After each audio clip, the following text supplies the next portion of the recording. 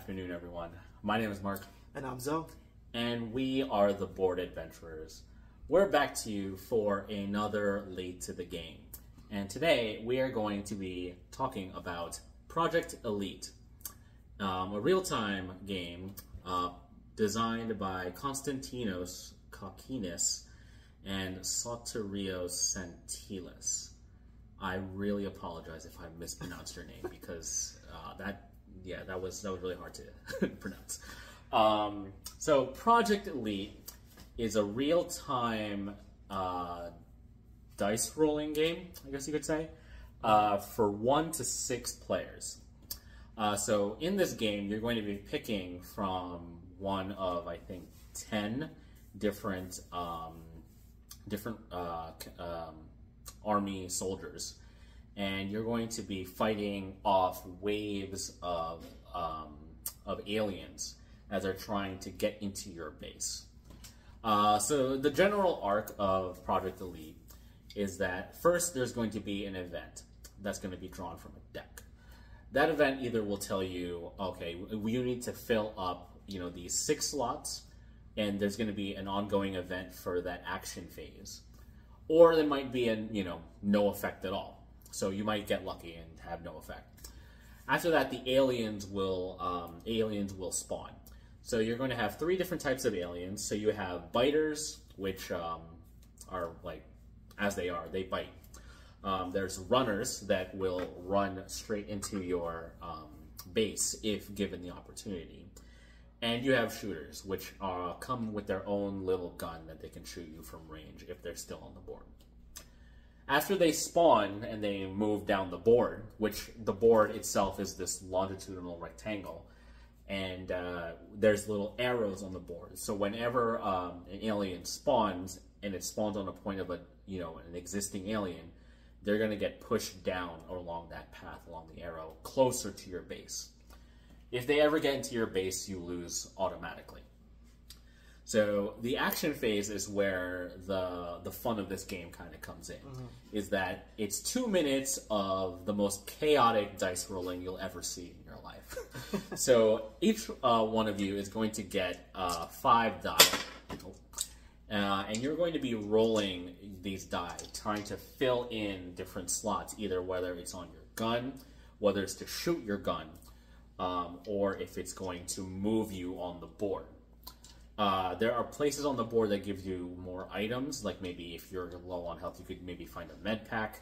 If you could find a better gun that shoots, or maybe an enhancement on a gun that will give you, you know, a better, you know, shooting range or more power for, you know, killing a villain. Along with that, when the boss, uh, when the um, monst- when the aliens are spawned, you get to draw one from the boss alien spawn deck too. So these some of these alien spawns are in these red little figures that you get in the game, uh, and they have their own like abilities. Like there's one that like trails ooze behind them so that aliens can slip right by, uh, making it getting to your base a lot much quicker. Um, there's ones that like have just like raw power that can just annihilate you, um, and just a whole bunch of other things. After two minutes is done, um, then uh, you'll you'll see where everyone else has fallen in, uh, and then you're going to be doing an alien activation. So the aliens will attack after your two minutes um, are up, where depending where they are in vicinity to you. But during those two minutes, you also have these objective tokens, which are the base of the game. So depending on the number of players, you're going to have a bunch of these out on the board. You need to fill these in with dice, and you need to have that symbol on the on the die to be able to to place it on there. When you have symbols like this around um, either anything on your cards, your weapons, or these uh, locations, this like kind of uh, this yellow black stripe, it means that it's going to be locked there until the end of the round. So you want to know, you know, like how to use your dice effectively because once you've locked it in there, you're not going to get it back until the end of the round. So you've inherently lost the dice for that round, right? After that, you clean up, and then any uh, any places that have locked dice, you can take back at the end of the round, and then you start a new round. Uh, after eight rounds, um, if you haven't successfully finished all the objectives, um, you lose the game. You lo- you've lost the game as well. Uh, so that's really all we had for uh, for the arc for everything. But what do you think of Project Elite? Yeah, Project Elite is interesting, right? So, in terms of like real time games, mm-hmm. my one criteria for real time games is does the game embrace the chaotic nature of being a real time game? Because that's really the fun of these type of games is how mm-hmm. chaotic it can be and kind of like the fun of those games. I, I feel mm-hmm. like what this game is trying to do is take that chaotic nature of a real time game and make it way more board gamey. Because usually when a real time game, uh, usually for real time games, it's kind of simple. Um, you're not doing a lot of actions. You're just trying to uh, work together and kind of enjoy the chaotic nature of being with friends trying to do something at the same time. This kind game is kind of taking that and trying to make it more board gamey, in which you're trying to kill aliens and complete a specific objective or Right. uh, stuff like that, which is interesting. Um, I like it. I don't know if I would rank it high amongst the real time games I enjoy, but it's still good if you like that sort sort Right. of game. Yeah, because I think yeah, for me, I I'm in the same boat. I believe as you is when we had first played this game. This was back maybe in 2020, right Yeah. when pandemic hit, and um, we had first um, we had only played this with 3 and at that point, with when we had played with three, I was ready to get rid of the game. I was I wasn't sure what the hype was behind this game, mm. why people like this game so much. Mm. But since then, we have played with a larger number of our friends who greatly like this game. Mm. And at playing it with that sort of chaotic, more of a chaotic nature to everything, Yeah, it made me think this is definitely a very solid game to have. And I think Yeah. I, I've definitely enjoyed Project Elite more recently than I have in the past. yeah. You need to be. You need to play with people who really enjoy real time games, right? Um, I just don't think it works just as a co op game. Um, it's it's it's hard to critique this game other than kind of saying it's good. You need the right certain type of people playing the game with you, and they have to enjoy real time games. Yes. Right. Now, like I, I know like a lot of cooperative games have that um, that uh, possibly like you know you create a leader, you know, like um, what's it quarterbacking effect, you know. Yes. that to me doesn't exist in this game because when you're rolling your dice, you can't just be telling someone, "Hey, I need someone to move that way." You That's know, true, deal with yeah. those villains. Because like when you, uh, whenever you like say roll a red, you're immediately like, "Oh no, I need to move one of the monsters closer to the base." Yeah. And so sometimes you might be moving something across the board that someone is trying, trying to deal with, and it's like, "Oh no, who moved it?" Yeah. So- yeah. Um, but it it I I enjoyed this game in this it, at larger player counts just off the fact that when we finished this game, uh, like I remember, I think it was me and someone else from our group. We had just cleared a wave of shooters that was like water, like almost running down the lane. Yeah. We got to the end, we saw the other side. It's like, oh my gosh, you guys have so much left on your side. so we it's like we got to go help and you know deal with that. I, I would I would say the coolest thing about mm-hmm. that game, and you brought up a good point with mm-hmm. the, just the aliens itself, which reminded me of this, are the bosses in this. Excuse me, are the bosses in this game? Mm. One, the pieces are pretty cool here. Um, Not only that, but just kind of they all do unique things. It, it adds a uh, a great wrinkle to the game. Yeah. and it kind of changes the dynamic of each playthrough, which I Yeah. do like in this game because uh, comparing it to the other real time games, it's kind of like once you played it, you play. Once you played it once, you played the Yeah. game. This kind of uh, adds something to it, which is kind of the bosses and the event cards that you can draw out as well. Yeah. which I do like about the game. Mm-hmm. And there's also that thing where like you don't want to be too close to one of these like aliens when they're moving because mm-hmm. as they're moving, if they push you in any way, mm-hmm. you get damage. Yeah, And whenever you exceed a certain amount of damage on your on your player like little board thing, then you you start locking out die.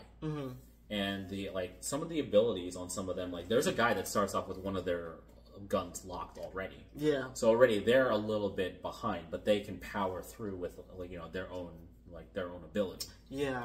No, hundred percent. And and you mentioned too the way this game is is there's not much quarterbacking. Mm-hmm. Now, it does take the fun thing about co-op games in which you can kind of, as a group, plan something. Mm-hmm. Once the two minutes are gone, you can kind of have like a, a base plan of what you're trying to do. Yeah. But once the game starts, that's over. There's no more telling other people what to do. I do like that. Yeah, It's yeah. one of my biggest cons of kind of co-op games is the quarterbacking. Yeah, like sometimes we'll you'll you'll have that one person that's like, either I've played this enough times to know what move you should be making, What everyone should be doing. and like yeah. we will lose if you keep kind of going down that route. Mm-hmm. And I, I I'm definitely all for like if a person wants to kind of do a certain move, then they should have the freedom to do that. Yeah. Um, but in this game, like it's definitely like you, it, it's hard enough to it's hard to track your own movement sometimes because Mm-hmm. it's like, oh, I need to move. Oh, wait, but I didn't load my gun. Oh, I need to shoot now. Oh, then Yeah. I unload this. And then having to keep track of a second person is almost It's impossible. Yeah. Yeah. The the the issue I think I had coming off of the shelf was that this game looks massive Mm. It coming does. off the shelf. It looks like uh it looks like a bear of a something that you could possibly be learning. But when you read it, the book, and you go through it, it's actually not as difficult because all the phases are kind of sh- It- sh- stacked in front of you. Yeah, it's similar. Um, It follows a very uh, similar kind of arc as other co-op games. Like you do some plays or something, the, the enemies does something afterwards. Right. Um, it's just because it's a big miniature game that it looks more intimidating than it actually is. It's not Yeah. a hard game to learn. Yeah, like that box. Yeah, that box is like double sized for a reason. Like those miniatures are like half the box. Yeah, yeah, no, hundred percent. Yeah. Now, in terms of a buy, play, or skip entirely, Mm-hmm. where does this rank for you? Yeah, so this is this is like in the middle for me. This is definitely a play. Mm. I think um, there's more. There's other co-op games, other real-time games that I prefer over this. Yeah, Um, same. but this there's enough people in our group that like games like XCOM, that like games like Magic Maze, Mm-hmm. that do like this game a lot. And I think this is enough for me to keep this in our collection and have it as a play. Yeah, yeah, I agree. This is kind of a solid play. I feel like we're not we're, we're I don't think we're real time game aficionados. In order to Yeah, really, for me, I'm not really. yeah, to say it, it's Yeah. like if you really like real time games, I can see where the enjoyment of this game really comes from Mm-hmm. because it takes that mechanic and it does things that other games that utilizes that mechanic don't do. Yes. which make it more board gamey, which make it feel like a big sci-fi epic game. But it's a simple real-time game. Yeah, it does kind of like give you that like that almost like you're in a war scene. You know, every two minutes it's like it's like I gotta run up to this alien. I gotta shoot the alien down. Oh no, my gun is jamming. I need to I need to reload it. And it's a cool looking game. Mm-hmm. And it's a cool theme. It's everything about it is pretty cool. Yeah, like the the arrows are clear on the board. Like they're they're functional. They don't take up too much space. Yeah. I did slightly have an issue with the with the line of sight mechanism. Like sometimes, like yeah, it says it's a tree, but I could maybe interpret it as a bush, and I don't understand why you can't shoot over a bush, but it's really a tree. Yeah. Um, so that's that was like a little for me jumping over what I thought it could be. Um, but otherwise, it's like it's, it's a solid game. Like definitely Yeah. try it if you like real time games. If you like sci-fi games, the, this might be up your alley. Oh yeah, hundred percent. If you like sci-fi games, I think you should probably pick this up. It's one of the, the most. It feels like the theme, Mm-hmm. so I think it works um, as a sci-fi game. Yeah, Cool. and then like yeah, yeah. Cool. So that is our late to the game review of Project Elite. I'm Zoe. I'm Mark. We'll see you on the next one.